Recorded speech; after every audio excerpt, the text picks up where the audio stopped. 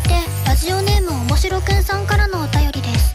大好きな人の隣の席にいるのに話が噛み合いません。どうすればいいですか？うーん別にいいんじゃないですかね。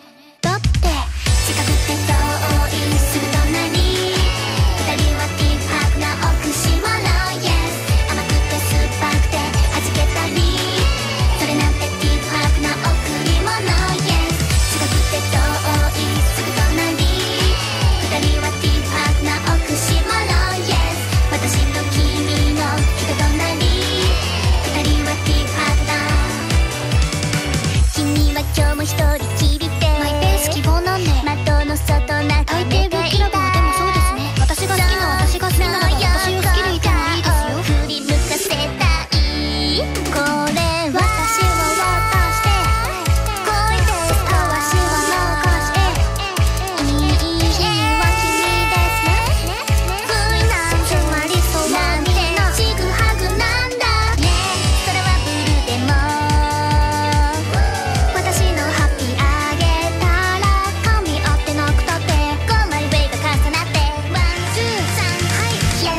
カレー